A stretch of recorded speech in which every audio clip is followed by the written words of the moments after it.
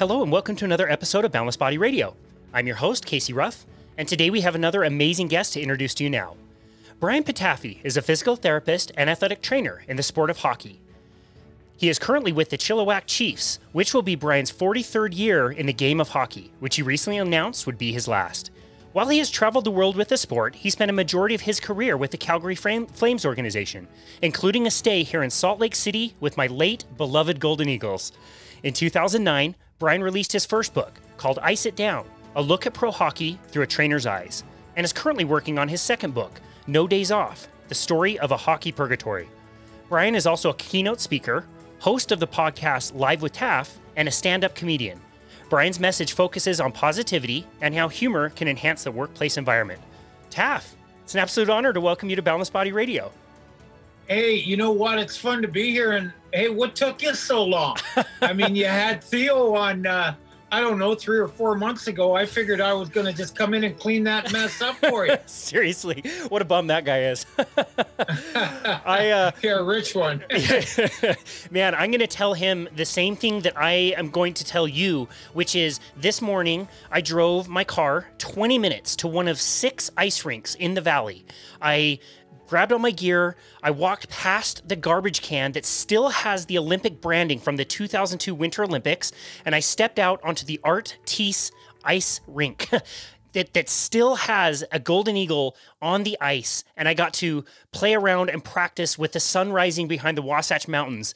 And I got to tell you man, I don't think any of that happens without what you guys did with the golden eagle. So I just have to say thank you. I'm just so full of gratitude for introducing us here in this valley to that sport and that type of environment it was just so amazing. I still remember my first Eagles games to this day. So, dude, thanks.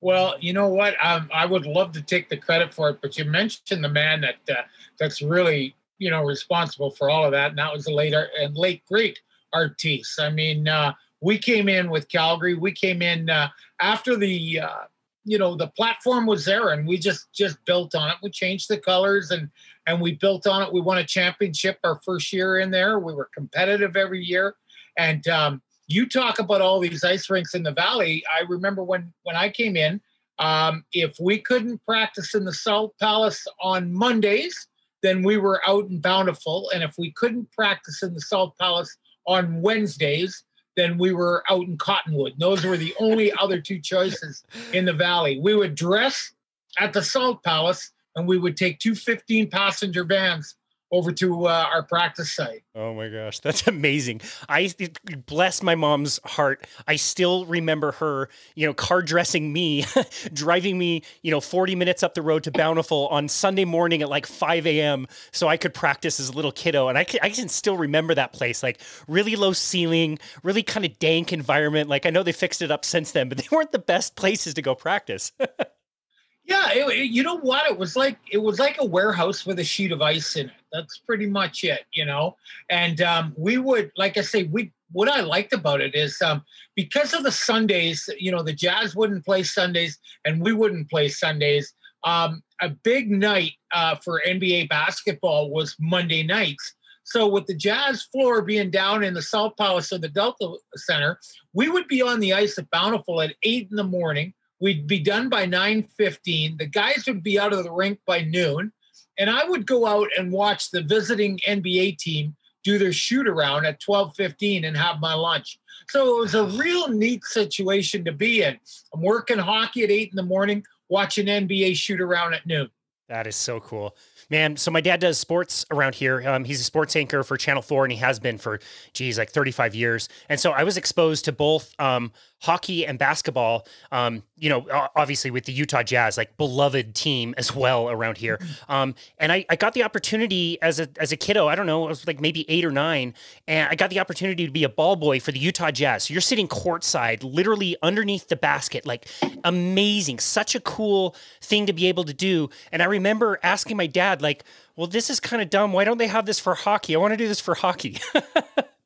Well, you know, you talk about being a ball boy for the Jazz. I think one of my biggest thrills was when Don Sparks was the trainer there, and I had hurt my ankle. So Don was doing the rehab on my ankle, and um, he had gone to Coach uh, Jerry Sloan, and he said, "Listen," he goes, uh, "This guy knows nothing about the game. he goes, "Can he sit on the bench with us one night?"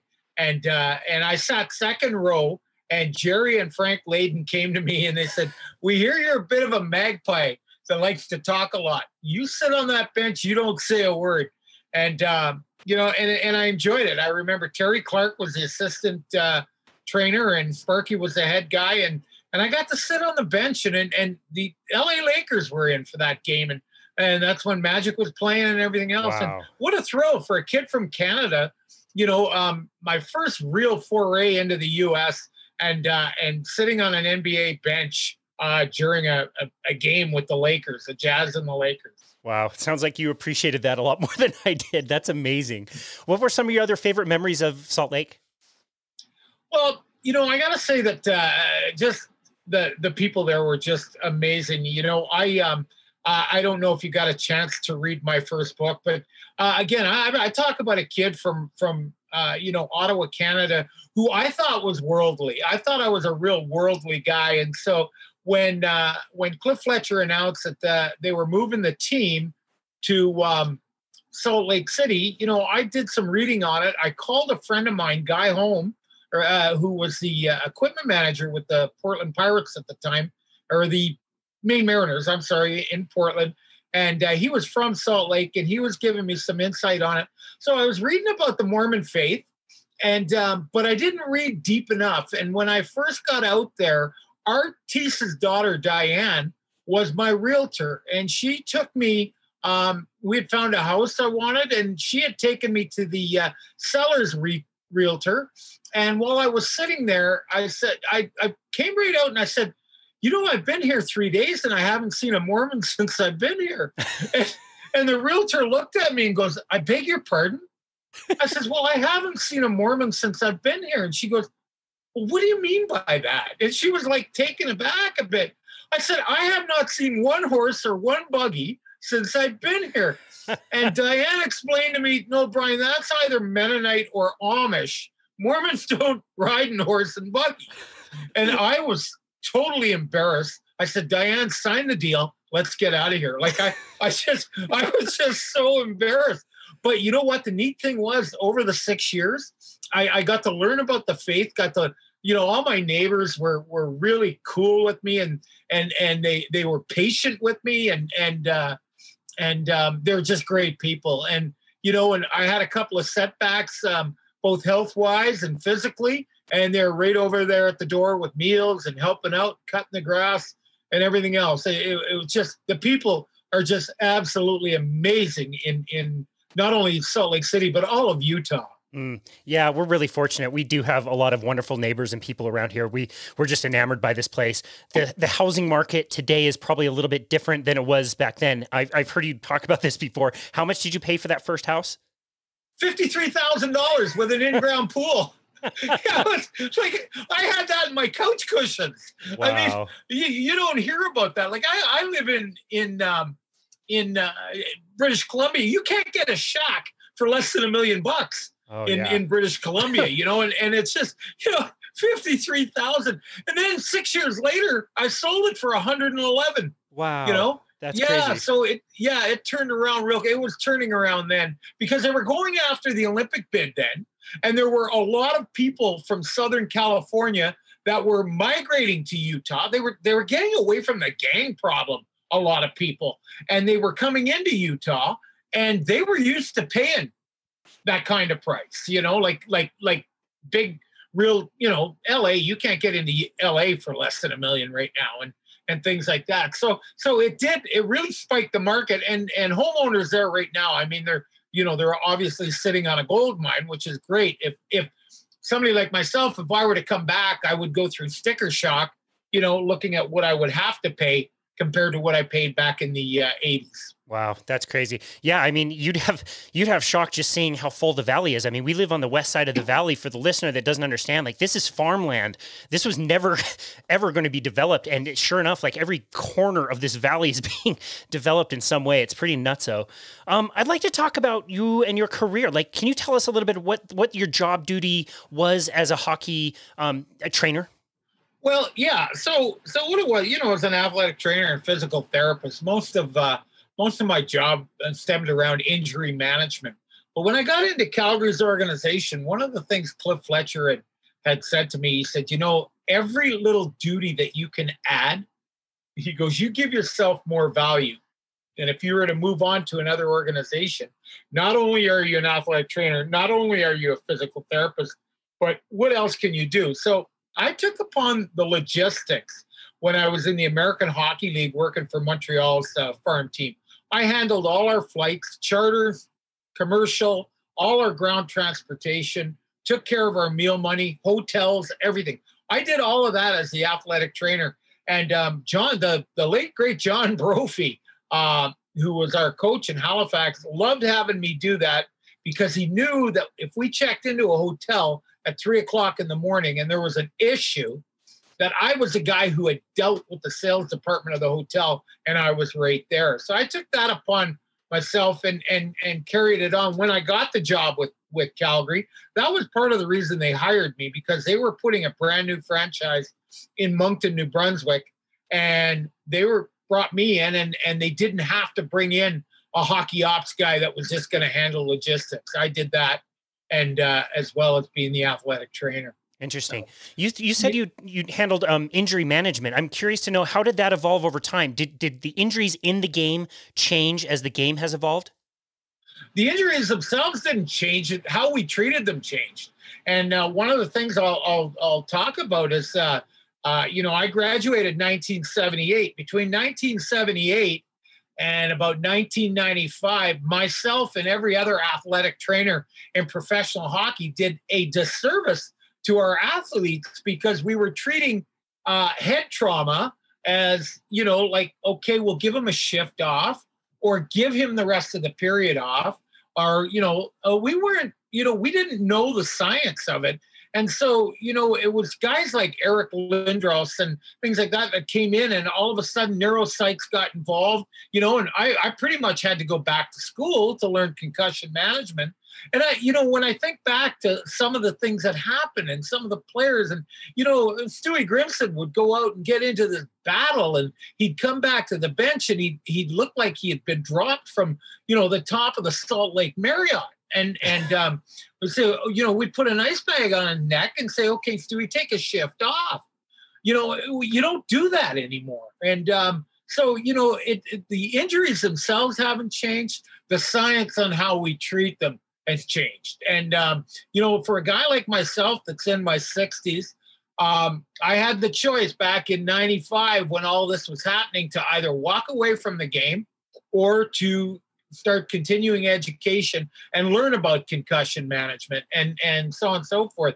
One of the things I did when I was working in the Ontario Hockey League is um, I did a survey uh, for Impact, which is uh, which is the uh, program used in the NHL, the American Hockey League, the East Coast League, and all of the Canadian Hockey League. It's a concussion management program. Well, I did a survey for them, uh, you know, based on concussions and um, the OHL is a is a type of league because it's a student athlete league where we would play Friday night, Saturday night, Sunday afternoon. We would do that probably three times in a month. You know, we'd play three in two and a half days. Well, going through this, uh, all the data I had from all 20 teams in the league, uh, 64% of our um, concussions happened in that third game in the two and a half days wow. because fatigue, travel, uh, you know, lack of sleep, diet, the whole thing. Uh, and and so then we went, myself and Dr. Michael Czarnota, who's uh, uh, one of the big wigs with Impact. We went before the Board of Governors, and we stressed this to them. And um, so one of the things they they needed to look at is either condensing the schedule and not playing the three and two and a half, or taking that Sunday game and playing it Tuesday night. Well, now you're talking to bean counters. When you're talking to owners and boards, board of governors, you're talking to people that look at, okay, if I play a Sunday game, I might have 3,200 people at that game. But if I move that to Tuesday night, I might only have 2,200 people. And so there was a lot of pushback and and so on and so forth. And um, again, you know, uh, we we we're seeing it with the with the gymnast right now and and with what's going on with people. We need to take our athletes and treat them like thoroughbreds because that's what they are. They need to be fed right. They need to be rested when they need to rest, and they need to be let out of the barn and run when they need to run. But but um, you know, and and and again, this is all this is all new, and this is what's coming in, and and uh, I'm I'm kind of proud of myself because, like I said, in '95, one of the big things that happened in '97 is I got married, so I knew that you know what, um, I had to you know protect myself and my job and what I did so I had to jump back in this, and, and I jumped back in both feet right into the fire. Wow. That's crazy. So we had a listener question. Um, a hockey buddy of mine actually asked, even just in the last like five to ten years, what what kind of skills and qualities are are people looking at in a hockey player now that maybe they weren't looking at before? Like, how has that changed? How has the training changed? It really seems like these guys were doing a lot of big, heavy, you know, weightlifting, and now it's almost more like speed work or mobility is more favored. Can you can you comment on that? Yeah, it, right now it's it's you, you get away from the lifting. It's all core. It's all core strength. If you have strength in your core, you're protecting your quads, you're protecting your hamstrings, and um, and that's where you need your your your strength. Um, we don't uh, we don't go into the weight room and lift pianos anymore. The other thing is, um, it, the game is so competitive when I got into the game, 1978, Utica, New York, guys came to training camp. We, we, we skated twice a day, and they use that two weeks twice a day to get into shape. You can't do that anymore. You've got to come to camp in shape. You know, there there is a, a real tiny gap between making $6 million a year and making $60,000 a year in the American Hockey League. If you're a $6 million player, you don't want that $60,000 guy taking your job. So you come to camp and you come to camp ready. Wow, that's crazy. Yeah, Dave Scatchard kind of told us a little bit about that and how that's evolved over time as well. Um, and and you know he realized that he wasn't maybe the most talented person on the ice, but he learned from a very young age that he would have to outwork everybody to get anywhere in hockey, and he was able to do that. Um, it's super interesting. I, I want to ask you too. You spent some time in Europe. How is the game different in Europe than it is here? Uh, well, first of all, Europe is is just if every guy in my position could experience Europe, I would advise them to go over and, and experience it. Number one, the culture is just just unbelievable. It's a funny story before I went over, and I'll get back to that. But I think the big difference over there is the fans. Okay, this is not a hockey game; it's an event. Okay, they're in the parking lot at two o'clock in the afternoon for a seven thirty game and they're out there and they're they're they're doing the European version of uh, tailgating. And then when they're in the building, there's one section we call the fan section, and it's in one end of the arena. And every arena in Germany is like that. There's no seats; they stand up, and they stand up for the whole game, and they sing. And they've got a drummer, and they've got oh, it, it's it's unbelievable. So I got out of the game in 215 um, 2015, uh, not I wasn't planning on getting out of the game. I thought I had another job. Things didn't work out. Came back to North Carolina with my family, and and uh, I went into into I don't say a little funk. I went into a big funk. I you know I had some mental health issues. Like like my wife told me, she said, you know what, you're like somebody that got let out of prison after 35 years. She goes, you um you you you can't handle the outside. You got to go back in. You got to, you know. So, and I said, well, I don't want to move the kids again, the family again, because they moved all the time with me. And she says, well, why don't you just take a job? We'll come and visit on weekends and so on and so forth. So, okay, the coming on weekends didn't work because I took a job in Germany with our, our old captain from Salt Lake, and uh, who was a record holder there for a lot of things, Rich Chernomaz. Rich had called me up and he had said, "Hey, do you got any gas left in your tank?"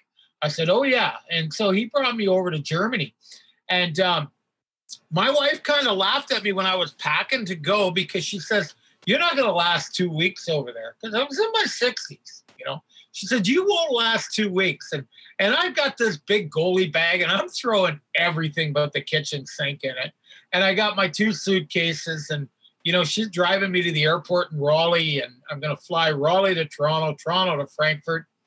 And uh, fortunately, my son was a techie and he showed me how to work, um, excuse me, WhatsApp on the telephone so I could make these video calls back home. well, I got over to Germany and I forgot to call. Um, I just like fell in love with the place. Uh, just, just the culture, like I said, the old buildings. I lived in an apartment. You wouldn't know it on the inside, but the, the building I was in was over 400 years old. I mean, it was wow. older than the United States of America, you know, um, you know, with, with three foot thick walls, but on the inside, all renovated and, you know, just looked like any other modern apartment building. And, uh, you know so it was a it was a great experience. My family came over at christmas. They came over for a month and and we spent uh new year's in paris and and you know we just did all the things and and uh you know that that tourists do uh for that month. And and for the time i was over there with rich and paul gardner it was uh just just amazing and i was going to go back i was set to go back the following year but rich had been let go, and Paul had been let go, and and I had gotten a, an offer uh, in the first division, and and um, just uh, the way I, I saw things shake out at the end, I said, you know, I don't want to get over here and and and get stuck, you know, like like um, because some things, you know, sometimes. Uh, uh, you know, ownership over there looks at things a little bit differently, and uh, and uh, they have no problem. You know, Paul Gardner, our head coach, got fired two games into the playoffs. Rich Chernomaz, our GM, who had been with that organization for years, had got fired three days before Christmas. Wow. Well, you know what? Yeah, that's that's inhumane. You know that that I'm sorry. Um, so I just said, okay, I'm not going back to Frankfurt. There was an opportunity to go to Ingolstadt. And um, but before everything shook out in Frankfurt, when they found out I wasn't going to come back, they canceled my plane ticket home. Wow. So I yeah, yeah. So but that's you know, that's you know, we just got in with a bad owner. So you know, um I, I remember um because over there, when you go over there as a North American, you're advised to buy lawyers insurance. I never heard of such a thing, but I paid $15 a month and I had this lawyer on retainer. And then when he had to go and represent me and get what I was owed because I didn't get my last month's salary and I didn't, and they didn't pay my flight home and everything else. He got it all back. It took it took about eight months. He got it all back. But he calls me up and he says, "Well, do you have money to get home?" And I said, "Yeah, I, I got money to get home." I, I said, "I made good money over here, and I, you know, I didn't spend every penny of it, so I got money to get home." But I said, "I'm a little, you know, little peed off because it shouldn't be my responsibility." And uh, I said, so if I'm paying my own way, I'm flying home first class, and you can get that back for me too. And and he did. Wow, that's great. That's great. I understand there was a little bit of a language barrier. There was no chance we were going to talk about Europe without talking about the stick order you tried to make. Oh goodness, yeah, yeah. well, that that uh, yeah, that that was, and again, that that's um, um, just like like you say, the language see over there, um, you know, teams sign deals. They sign individual deals, like like the the East Coast League or the ECHL, whatever they're called. They sign a league-wide deal with CCM or with Warrior or whoever they're with.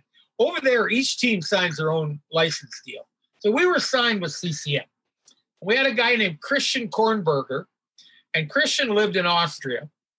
And um, Christian's English was about as good as my German, so it's non-existent.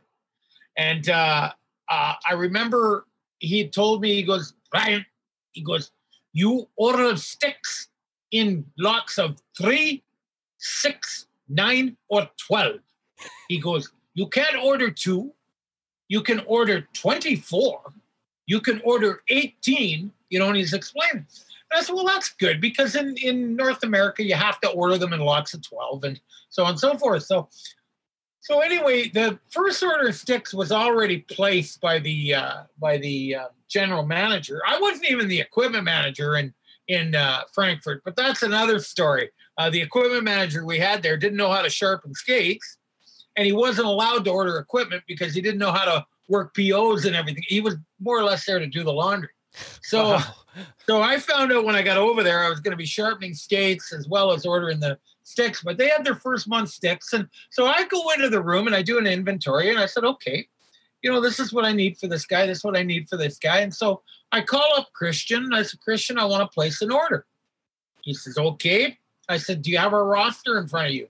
I do. I said, okay. I said, Brett Yeager. He goes, Brett Yeager. I said, nine.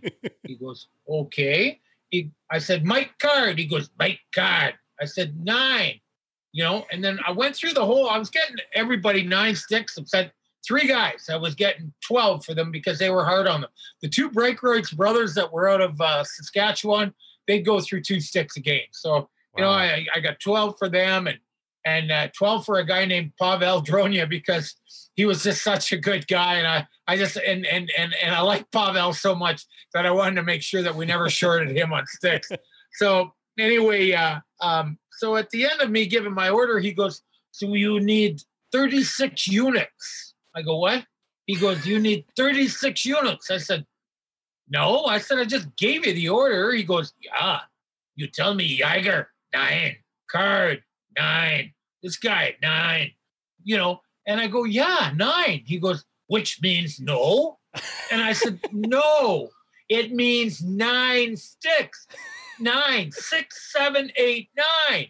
He goes, must do over. I said, okay. He goes, Brett Jaeger. I said, 12. Mike Card, 12. I never ordered nine sticks again.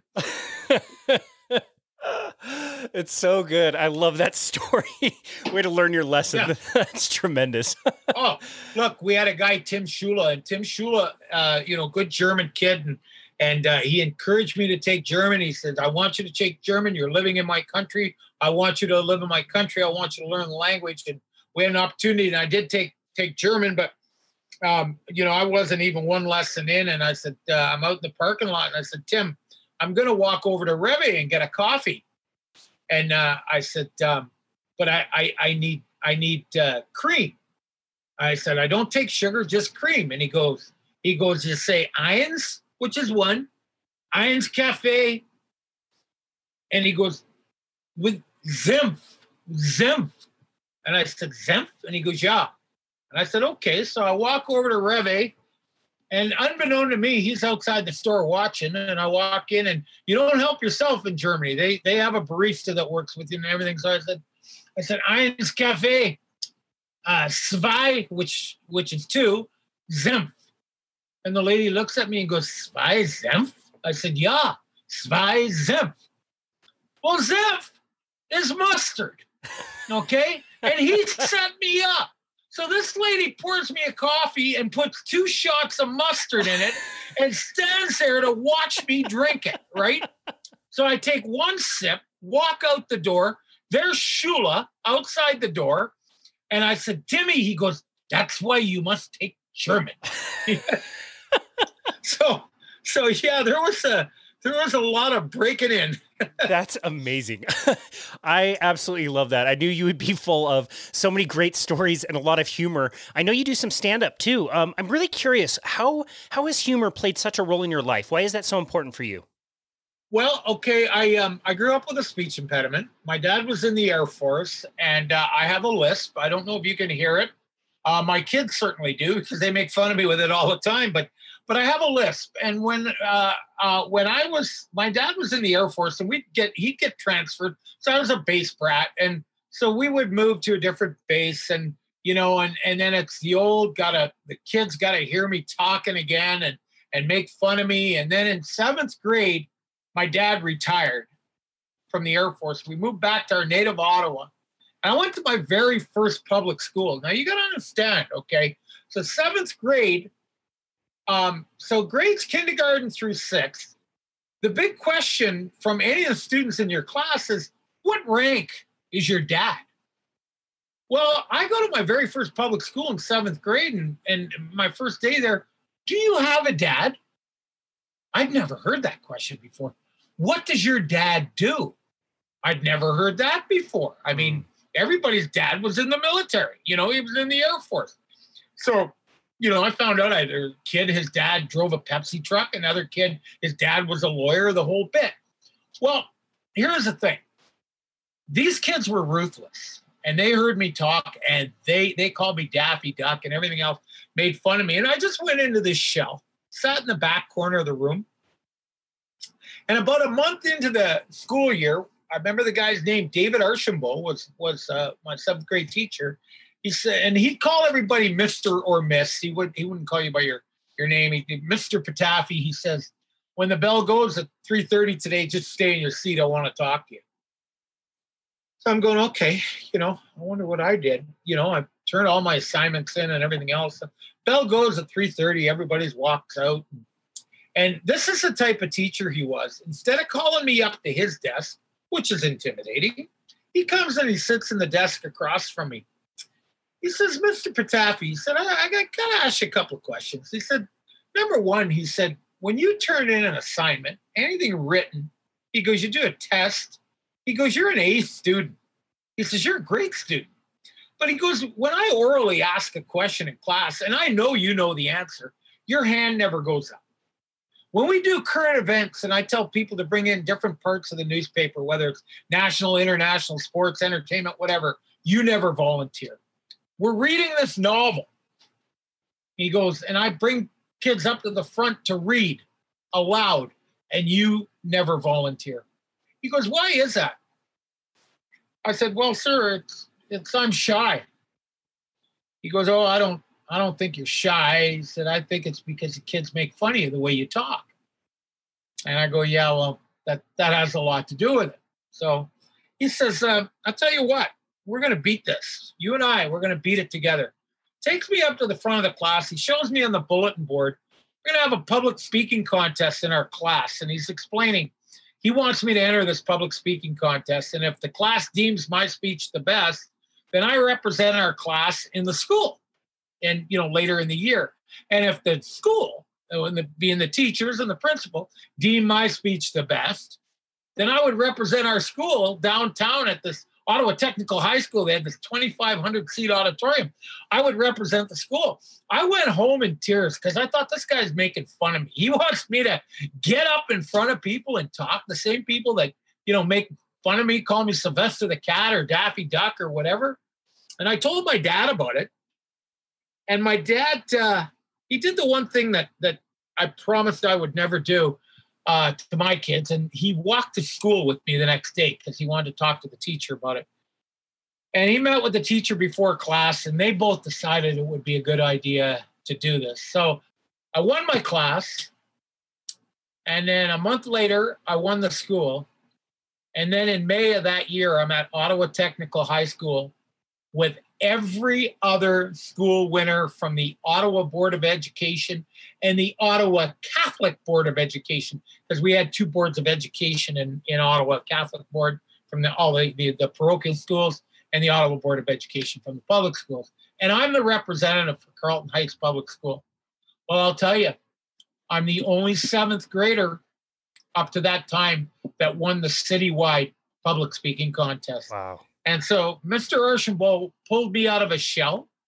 Um, I don't know which way my life would have went, you know, later on.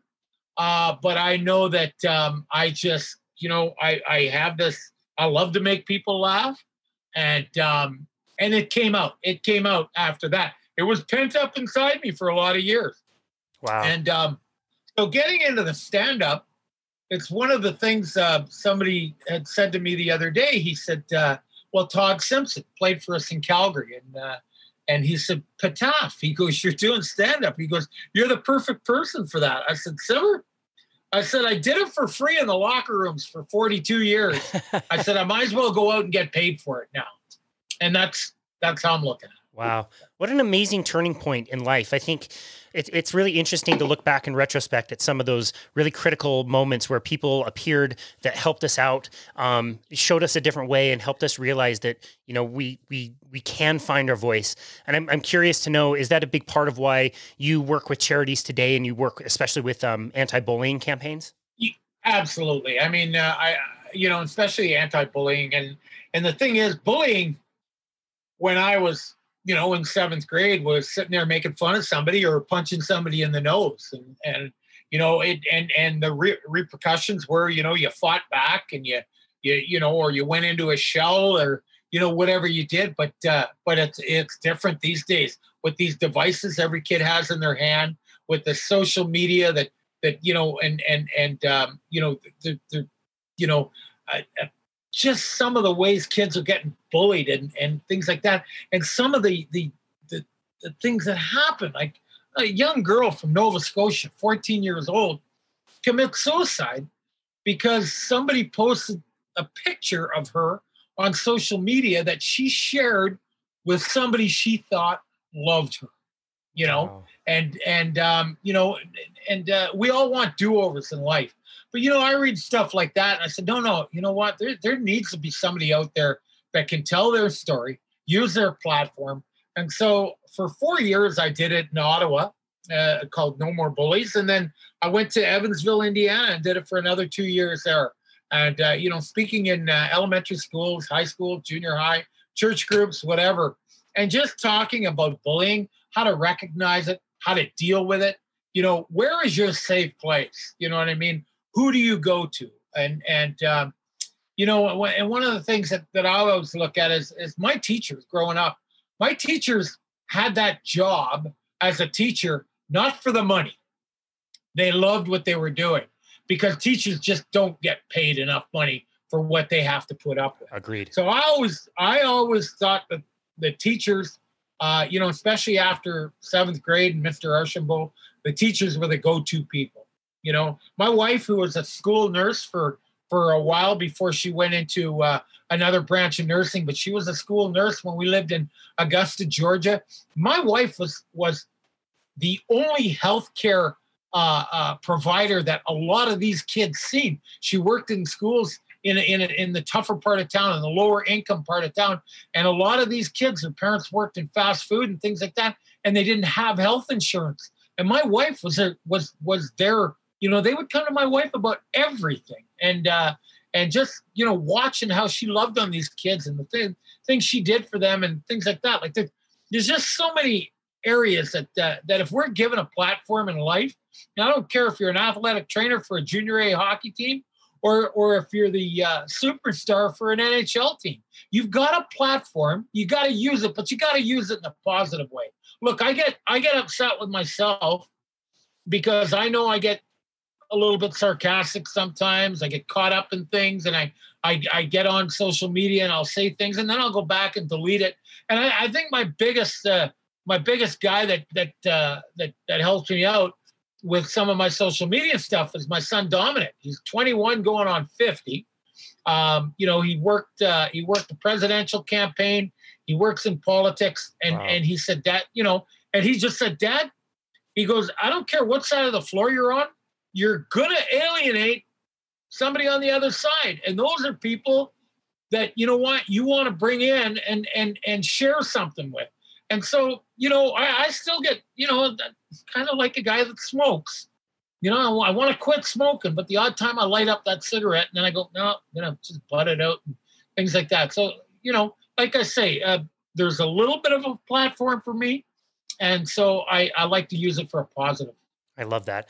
You're you're so great at highlighting the positives in everybody. I've heard you talk about this before too. I would love to hear a specific story about you investing in people. I know that's a huge theme in your life and it's something that I really love and want to incorporate more of in my life.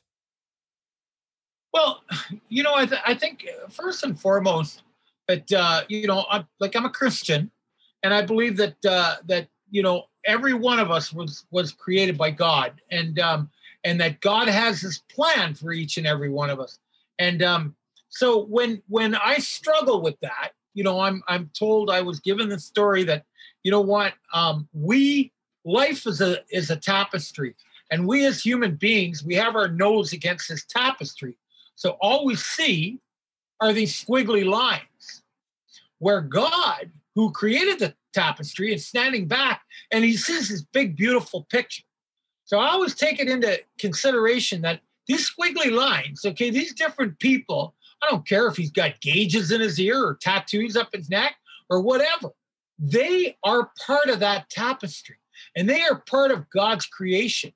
And maybe, just maybe, you know, they want to make a right turn when they should go left. Life is telling them to go left, or they want to go straight, and life is saying, no, you got to turn right here. So you've got to invest in those people. And the best way to invest in them is not to call them out, but is to show them how you live and show them love. You know, and and um, I do that with my hockey players all the time. Is um, you know they they will come in and um, you know they'll say something that might be inappropriate, and I'll just say, guys, would you say that in front of your mother or your sister? you know, and they, and they go, well, you know, Daft's locker room. And I said, yeah, but you know what? There's other guys in here that that might offend them.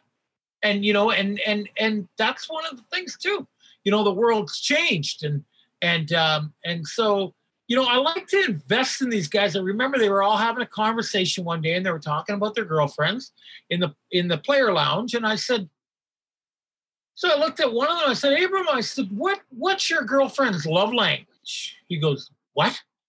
I said, well, what's her love language? I said, there's a there's a test you can take, and it, it tells about your love languages. Some people's love languages are acts of service. Some are physical touch. I said, there's this test. And so the players started calling on me on it, and they said, "Oh, you're full of crap, blah blah blah, Pataf. What are you talking about?" Well, our video coach got up and he goes, "No, no, no. He's right, guys." He goes, "My wife and I had to take that test when we were going through premarital counseling before we got married. We had to take that test." So anyway, nothing more was said. But the guys came in the next day, every one of them that was in that lounge, and they were telling me what their girlfriend's love language was. They Googled it and they and they um, took the test with their girlfriends and they came in and they were thanking me you know because it it, it was going to help their relationship and and you know you, you can just you can learn you can learn so much about people by saying nothing but just being around them and seeing what they say and looking at their at their body language and and you know i remember a player came off the ice a very good hockey player rated in the draft came off the ice one game and he wasn't happy when he came off. And and I'm just standing at the end of the bench and I go, body language. And that's all I said. I'm not a coach, but I saw his body language. And if I seen it, the 21 scouts that are in the building seen it as well. And he came to me after and he thanked me. He said, you know, he said, I just get frustrated. And I said, yeah, we all do. But I said, you know, we, we have to take that energy and use it for a positive. And I said, and body language, I said, if I notice it, like I just said to you, I said, there's 21 scouts in the building tonight, you know, NCAA and NHL. I said, they notice it because that's what they're paid for. They're paid to see everything about, look for the total package. Mm. And so, you know, I just, just, you know, want to invest in people and, and, um, and I think the best way, like I said, is not call people out, just show them how you live. Ah, I love that. I, yeah, it's just so well said. I, I agree with you. I think, you know, the more we coach people about nutrition or their physical exercise or whatever, like sometimes people listen, but I, I, I can't I can't live their lives for them. The choices they make are the yeah. choices they make. The one thing I feel like I can really do is just live the way that I think is the best way and, and try to be as positive and as, as grateful and as kind and giving as I possibly can and let that light shine because otherwise, you know, we can we can talk about certain things but I can't live their lives for them. So I think that's really great advice. You were you were almost forced kind of to leave the game. You decided to come back. So not really successful in retiring the first time. What makes you think you're going to be successful this time retiring? because I've had enough. I've I've I've absolutely um, you know, I probably would have retired after this year if it wasn't a COVID year. Um, but um, I did not want to, um, you know, three or four years down the road, look back and say, yeah, my last game was against a team that uh, we played 20 times in May because we played a 20 game schedule against, you know, two teams or whatever. Uh, you know, so I, I, I didn't want it to end on that. So, um, so at the end of the year, um, it was funny because the coach made a joke. He goes, Hey, your contract's up. He goes, uh, he goes, You're talking about next year, blah, blah, blah. Your contract's up. You haven't signed a new contract yet. And the, the assistant coaches were in his office at the time. And I said, I said, Yeah, uh, I got to discuss that with you right now. So he looked at the two assistant coaches and told them, you know, to, to get up and leave because he thought I was going to try and get a few extra bucks for next year. And I said, No, no, these guys can stay. And I, I said to them, I, I, I said, Look, I'm fine with what I'm making. I said, but God has laid it on my heart. Um, that next year is going to be my last year. I said I've, I, I'm gonna I'm gonna not be a lame duck. I'm gonna leave it better than I found it. And and I said, but next year is going to be my last year. And he came back with, well, can we revisit this in February? I said, no. I said in February we need to find somebody to come in that I can mentor for a couple of weeks, so that they can see what your expectations are so you don't go through growing pains in the 22 23 season. Mm. I said, I'll help you there in February. I'm not going to change my mind in February. I, I, have, you know, the only bus I want to ride on now is a tour bus. So. wow. Well, I mean, you said on Facebook you're going to prepare yourself as much as you can, but when that final horn blows on that last game, it might hit you like a ton of bricks. Well, you know, it will. It will. It, it, uh, you know, you you get into, uh, you know, you've been doing the same thing for 43 years. And you get into a rhythm, and and uh, you know, I've talked to other guys that have left the game. I, I guess the greatest piece of advice I got was from a guy named Wally Tatomir, who used to be the equipment manager for the uh, Carolina Hurricanes, and he was with them when they were in Hartford, and he worked junior hockey before that. And I called him up one day, and I said, "Hey, Wally," I said, "I got to ask you a question. How do you? How did you know when it was your time to walk away from the game?" He says, "Pataf, I'll tell you how I knew." He says, "When I called up a trainer who had retired, and I asked him." How did you know when it was your time to leave the game? So he was telling me that I already knew it was my time to leave. That's why I'm calling.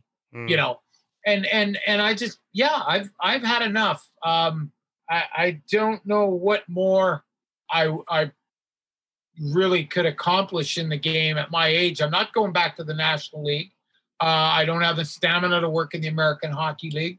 I, I you know, I'm working in junior A hockey. It's a perfect fit for me right now. But uh, but I, I just yeah, I've had enough. I've seen you know I've worked over well over three thousand games. Wow. Um, you know, and being in the Flames organization for 15 years, I've seen a lot of bad hockey. So, you know, like like it it just uh I've I've just had enough. I've, I've you know, um I don't want to say I'm not excited about training camp this year because I'll get excited, you know, when when the kids arrive and we're going through the medicals and everything else. But but I'm not not counting the days. You know, mm. a couple of years ago at the end of the year, uh, I wrote on the dry erase board in the in the room after all, the last player had left at the end of the year. I wrote, um, "September can't come quick enough." I, I didn't write that on the board this year. Mm. So. Interesting. Well, what is your what is your vision for the rest of your life now that you're moving on after this season? Well, um, just want to try and keep myself healthy. Uh, I would love to see how far things could go in my other chosen profession. I love, I love to get out and speak. I love to make people laugh. You know, I'm I'm doing uh, I'm doing a comedy festival in in the Okanagan, British Columbia, at the end of uh, August, which is one of the top com- comedy festivals in North America.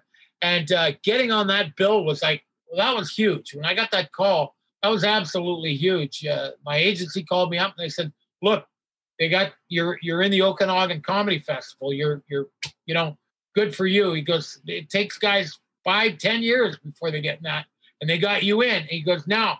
He goes, "You got two nights. You're doing a ten minute set, and that's it." So he goes, "Bring your A game and knock it out of the park." And then he goes, "But on the third night, he goes, believe it or not, you're hosting the show." Wow. And he goes, yeah, and he goes, and and they're gonna they're going to uh, you know they're gonna do the writing for you when you're hosting, and uh, and uh, you can do a little bit of your own stuff, but you're gonna be introducing the acts, and uh, so that was like, I went, okay, yeah, well that was big, and then um, they called back um, a few days later and said, um, oh, the final show of your tour, which uh, which is a mini tour, but they said is going to be in Chilliwack on the 11th of September, Saturday night. And I go, wow, that's my adopted hometown. That's great. So, you know, that the tickets are on sale for that. They're going well. And, and, um, uh, it's funny because I, I go, okay, you know, it's one thing to be in the Okanagan, you don't know anybody there. Um, uh, but, you know, to be in your quote adopted hometown, those are the same people I'm going to run into at the grocery store, uh, you know, the next week. So I better, uh, I, I better knock it out of the park there. Man, that's great. What a cool opportunity, especially for the hosting. Like, what a what an amazing way to you know get more exposure and uh, meet some of the people that I'm sure you look up to in that space. That's that's great. That's so cool. There's a a, a guy um, that I've connected with now. Um, um, he's in Vegas now. He's a Salt Lake guy. He's Steve Steve McKinley. Is that how you say it?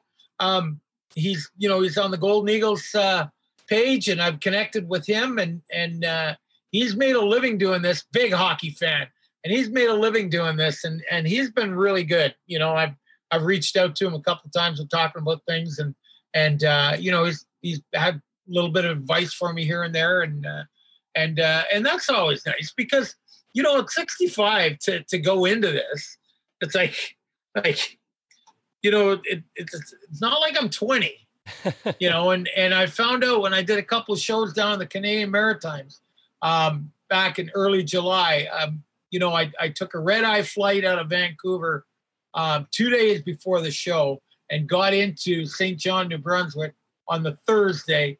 And we're doing the show Friday night, doing a show Saturday night, and then taking a 6 a.m. flight out Sunday down here to, to North Carolina. And um, I uh, I made the mistake after the first show um, of sitting with friends that came to see me for about four hours and just reminiscing. And then the next night, I was doing a private function, and I said, "Well, I'm going to bed right after." But the problem was, I had a 3 a.m. wake up call because um, the I was playing it. Was outdoor, and I'm playing at a winery, which is on an island. So you've got to leave the island, catch a ferry. They run, you know, they run 24 seven uh, you know, and you got to, and because it was an international flight, you got to be two hours before your flight. So I was absolute toast. Then I get into Montreal and I can't take my connection because I hadn't had an updated COVID test, even though I was double vaccinated. So, you know, then they put me on another flight with an 11 hour layover in um, Newark. You know, I, you know, you could spend an uh, a week in Newark in one afternoon. I mean, that airport is probably not my favorite place to to hang out for 11 hours but you know so so i was pretty beat up you know? And so so um donna and i sat and talked about it and she goes well you know she goes you got to understand that that you know you're 65 and you're going into this this profession and whether you do you know like i'm doing three shows in a row in the in the okanagan well i can't be sitting with friends for four hours after the first one because I'm cheating myself and I'm cheating the people that that uh, buy tickets uh, by not being sharp for the second one or the third one. So I've just got to discipline myself. But you got to understand too, I've been the roadie. I've been the roadie for 42 years. Okay, I've been the guy that's got the athletes ready, and they go out on the stage and perform. Now all of a sudden, I'm no longer the roadie, and I'm the guy that's got to go out, but I don't have teammates out there. It's me and the microphone you know. So and then I don't have roadies, so I got to be the roadie and the performer, you know. So I just I just got to learn to to take care of myself, discipline myself, and and um, and try and make something out of it. I'm looking wow. forward to it. That's awesome. That's so good for you. That's so cool that you're taking this on. Um, such a new challenge and so much fun. Uh, really looking forward to see how that plays out over time. When you look back on your career as a hockey trainer, what are you the most proud of? Um, I think uh, number one, uh, getting to the National League in in my chosen profession. You know, I, I knew early in my life that I wasn't good enough uh, to be a hockey player, uh, professional hockey player. I played hockey, minor hockey, like every other kid growing up in Canada at the time. But I knew I wasn't good enough to make it. But I wanted to be involved in hockey, so I chose a path. And you know, and my first job was in Utica, New York, in the Old Eastern Hockey League. The year after the movie Slapshot was uh, was filmed, and and the same type of league. You know, it was a six team league, and we were traveling. You know, places like Baltimore, Hampton, Virginia, and and uh, Johnstown, Pennsylvania, and places like that. I spent two years there, rough league to work in. Then got hired in my hometown of Ottawa. Two years there. So after four years, the Montreal Canadiens give me a contract to work with their American League team. Well, I thought I'd made it. You know, Montreal Canadiens in hockey, it's the Montreal Canadiens, the Toronto Maple Leafs. Like in baseball, it's the LA Dodgers or the or the New York Yankees. You know what I mean? Like like they were the iconic franchise. Wow. And a kid, you know, growing up in Canada during the original six, you're you're a Montreal or Toronto fan. So the Canadiens hired me. I worked two years with their franchise. Then they were moving their American League team into Quebec. I wasn't bilingual, and um, Calgary had an opening, and and Calgary hired me, and and uh, and then I, think uh, a, couple of highlights. Number one, moving to Salt Lake, and and look, I've said this. It's in my my first book. I've said it countless times. and I'm not saying it because I'm on your podcast and you're from Salt Lake. Salt Lake is by far America's best kept secret. It is the most beautiful place I've ever lived. And had Calgary, uh, while I was there with Calgary, I turned down two NHL jobs not to leave Salt Lake. I, w- I would, no, I told Cliff because they called Cliff first, and Cliff goes, Hey, I got a call from so and so, and they're looking for a trainer and they want to talk to you. I said, Tell them not to waste the time. I'm not leaving Salt Lake. Wow. Now, I, you know, when when Calgary made the decision uh, six years later to move the franchise back to the Canadian Maritimes, I was one of the most vocal people about how poor of a decision that was.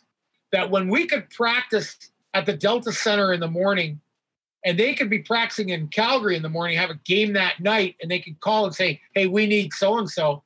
He'd be on a Delta flight at one o'clock, and he'd be in in time, and he could play the game. Mm. But they're moving us four time zones away into Atlantic time in the St. John, New Brunswick, and and I wasn't happy. I, I was not happy, and they took a core team. We had guys like like Randy Bucyk had been there for the whole six years. Rich Chernomaz, Bobby Francis, myself, we were ingrained in that community. We didn't go home in the summer. We were home. Salt Lake was home. I didn't go back to Ottawa. Bobby didn't go back to, to Saskatchewan. Rich didn't come back to British Columbia. We were home. Salt Lake was home.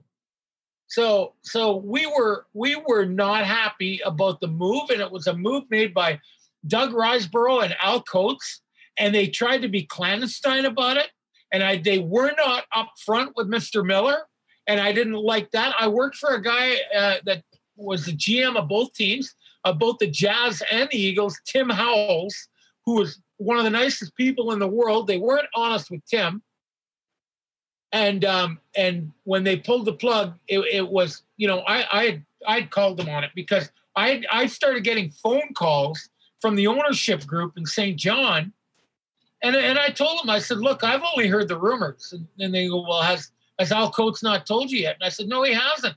And I said, in the bottom line, gentlemen, I said, I may just stay here. I was, I was um, working um, part-time with um, Pioneer Valley Sports Medicine out of Pioneer Valley Hospital for a guy named Jerry Gertz.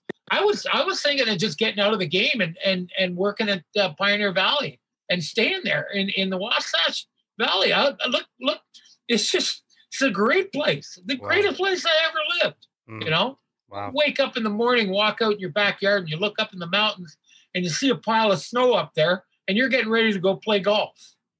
You know. yeah. Well. I, for the listener, Brian is absolutely lying through his teeth. None of that is true. This place is awful. Don't come here. yeah.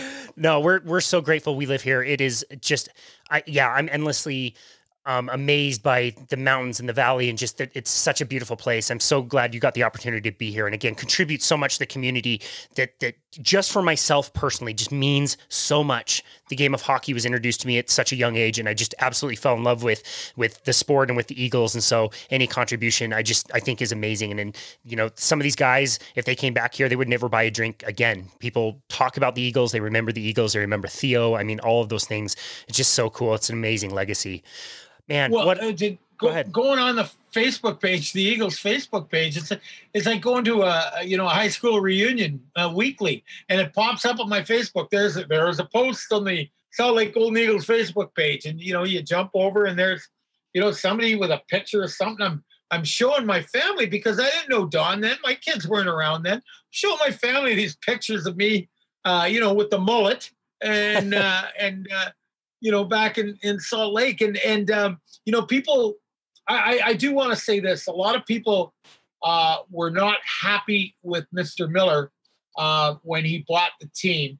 And, you know, and they think that led to the demise of the team. I will tell you this much, and, and I love Mr. Teece. Uh, he was such a good owner.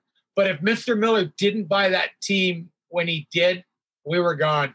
Mm. We were gone. You know, the, the they were bleeding red ink left and right. And when Mr. Miller bought it and then moved it into his arena, uh, you know, but even while he owned it for two years in the Salt Palace before uh, the Delta Center, uh, you know, was was even built, and and he changed a lot of the, you know, the bills were being paid, and and uh, oh, you need charter flight. Well, you know what? And I want you to stay in these hotels in in in any city that has an NBA team. These are the hotels I want. So we were moving from the you know Atlanta was in the IHL. Then they had the Atlanta Knights, and we were moving from the Comfort Inn to the Marriott Marquis because Mr. Miller wanted us to be in the same hotel that the Jazz utilized. Wow. I don't know if it was a business thing or if it was just a uh, you know an appearance thing. I didn't care, you know. Um, but you know, so that was in Milwaukee. You know, that was in uh, in uh, Atlanta and Phoenix. You know, and any other city that also had an NBA team, we were staying where the Jazz played. Wow. And then back then, Morris Air was a big uh, big charter company, and we we flew on them a few times. You know, and and uh, we're an IHL team acting like an NHL team. Wow, that's so cool. Man, what a fun conversation this has been, Brian. I wonder if you have one simple tip you would like to leave for the listener, something from your life, your career, um, that that people who've listened to this amazing conversation could walk away from and, and use in their life. Well, uh, if you don't mind me going biblical, and it's it's just uh, uh, something my son and I live by, and it's from uh, Matthew five sixteen, and it says, "Let your light shine before men, so that they may see your good deeds and honor thy Father in heaven." So just be a light, man. Just be a light, and and and show people your good deeds because that that honors our our our our, our the big guy upstairs. And I don't care if you read the Book of Mormon or the King James version or if you're Jewish. Um, we we we honor the big guy upstairs. So just just be a light, be a light for people. I love that. And you are certainly such a wonderful example of that, sharing your message around and, you know, really providing so much positivity and optimism. So cool. Can you tell the listener where they can go to connect with you and your work? Yeah, they can go to my, my website. It's uh, three W's, brianpatafie.com. Okay. Or um, I, I have two Facebook pages. Uh, one is No Days Off, Brian Patafie, or just my, my Brian Patafie Facebook page, which is wide open public, and Twitter, um, which, um, like I said, my son's going to get my the leash out again on me, is at B Patafie. Awesome. We will link to all of that in the show notes. Brian Patafie, thank you again so much for the wonderful memories. such such cool uh, stories about your life and hockey and, and just that beloved sport and that beloved team. Thank you so much for sharing your message of positivity, for facing adversity, coming out on the other side, being brave, and sharing that message. It's just so cool. We're so grateful for you and all of your work and for the time you took to be on our show today. It was a real honor to talk with you. Well, thank you very much for having me. Absolutely. And this has been another episode of Boundless Body Radio.